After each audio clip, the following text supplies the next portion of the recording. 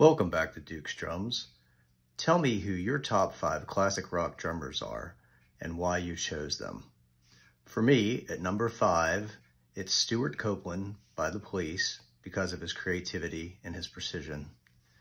At number four, it's Tommy Aldridge because of his power and his speed.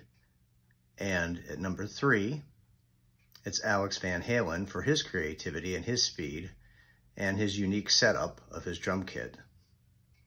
At number two, it's John Bonham because he was an innovator of his time that really led the way for the other drummers to follow. And at number one, it's Neil Peart because he was just the all-around drummer's drummer. He was precise, he was fast, he was creative.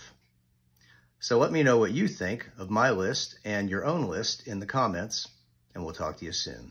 Until next time, take care.